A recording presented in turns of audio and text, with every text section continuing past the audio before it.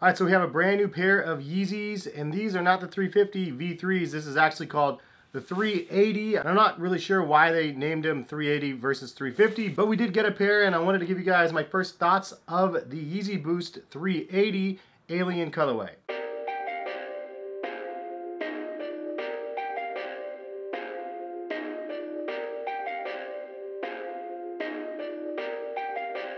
Perfect.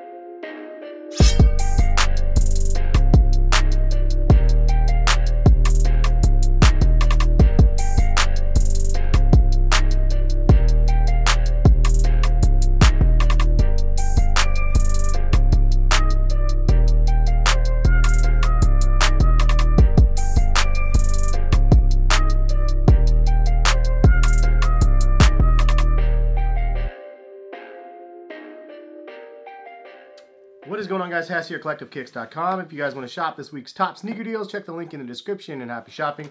I did post when these dropped as well on Instagram and Twitter and on my website, Collective Kicks. So hopefully some of you guys got through. If you guys did, leave a comment. But this is my first look at the shoe with you guys. And I have, whoa, this is crazy. This is really interesting. This is totally different than I expected, honestly, just from pictures. Uh, and pleasantly surprised with what I'm seeing. So, so a lot more details in hand than I uh, anticipated. There's one, and here's the second one. Box part. So the sneaker room's a little different right now. I'm actually redoing my sneaker wall and I'll have a video on that soon. This though, I wanted to get you guys a video on these as soon as I got them because I'm actually really excited to see how these look in hand and how they feel on feet.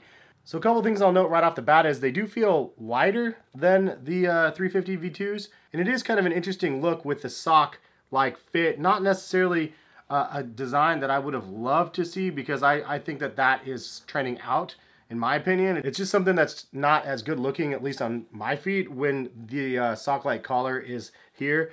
But there's a couple details that I wanted to show you guys that are kind of crazy. So the first one is the uh, the lace hole slash, it's actually a little bit sticky on the inside. Looks like somebody went crazy with super glue and just kind of slimed the top like a snail's trail sort of thing going across there.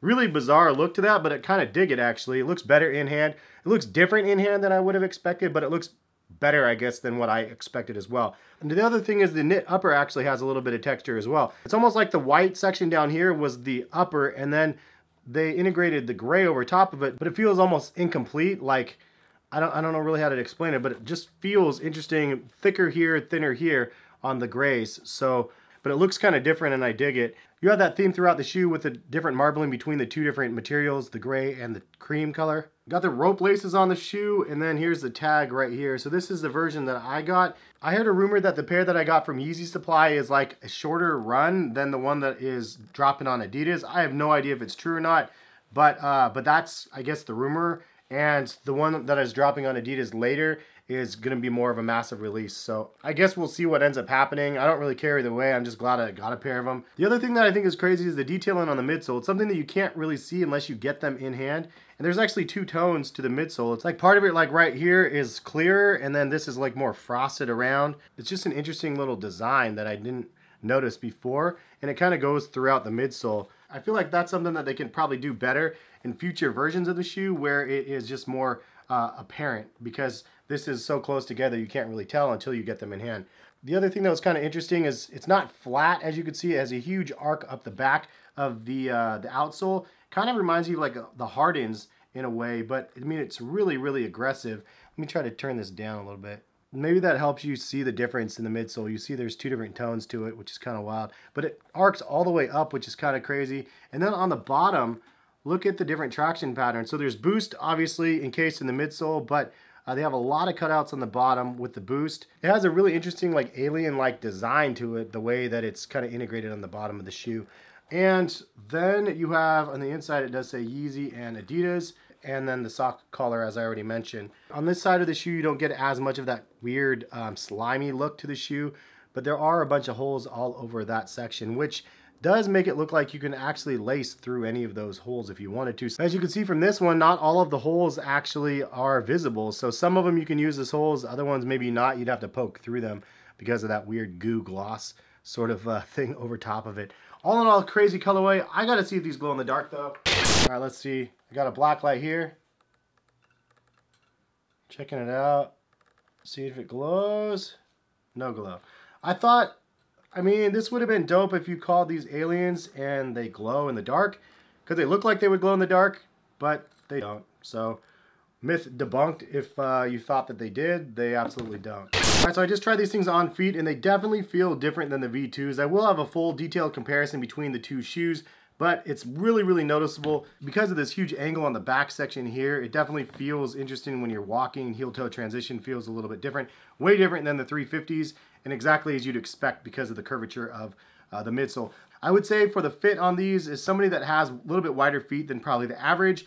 True to size is a little bit snug. I wore paper thin Adidas socks on these things and they definitely felt snug. That being said, if you get stuck with a pair that is a little bit too snug, you can always do what I recommend and pull out the insole. It gives you a little bit of extra wiggle room in the shoe and honestly makes just the perfect adjustment for myself. Half the time I take them out if they're just too snug, especially like the Adidas Ultra Boost or the Yeezy 350s. So pro tip for those that didn't know, take out the insoles if they fit too snug. Otherwise, I would actually go up a half a size on these. Personally, if I get another pair, I'll go with a size 10 instead of a 9.5. Just because of the stretchy knit upper, it's just a little bit too snug for me. And so that's my personal recommendation. But watch some other YouTuber videos, try them on in person if you can, which is probably impossible. But the other option is ask people on Twitter or Instagram how they fit, and usually people are good.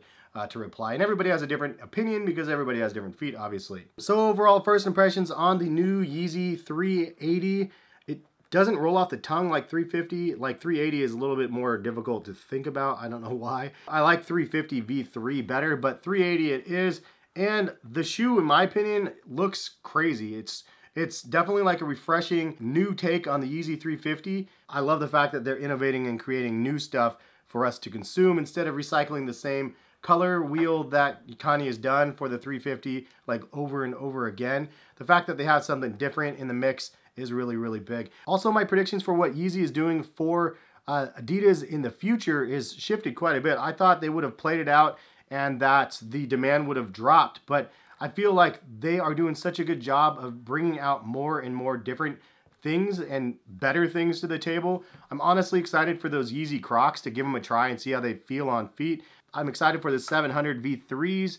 Like there's so many great looking models of the new Yeezys that are coming out. And in my segment on YouTube, personally, which is just lifestyle, I'm, I'm really, really excited to see what they end up bringing to the table. But that's my thoughts though. What do you guys think about the new Yeezy 380s? Something you guys are interested in or not? Are you guys looking forward to other colorways releasing? Uh, did you guys snag these? Again, leave a comment in the comment section. I'm really happy I got a pair, honestly. I got them from Yeezy Supply and I did not expect it. I was waiting on that L. It took me two hours and finally it just ended up adding to cart and checking out really, really fast as soon as it did it. And then soon after it sold out. So uh, again, happy I got these. Leave some comments. Let me know what you guys' thoughts are. And uh, if you guys want to like the video, please like the video. If you guys do want to see that comparison video to the 350 V2 sooner than later, actually I'll do a comparison between the 350 V1, V2, and these ones if you guys would like since I have all three of them. But that uh, is what we have. Thank you guys for stopping by and watching. Have a great rest of the day, and we will see you guys for some more sneaker videos very soon. Peace, guys.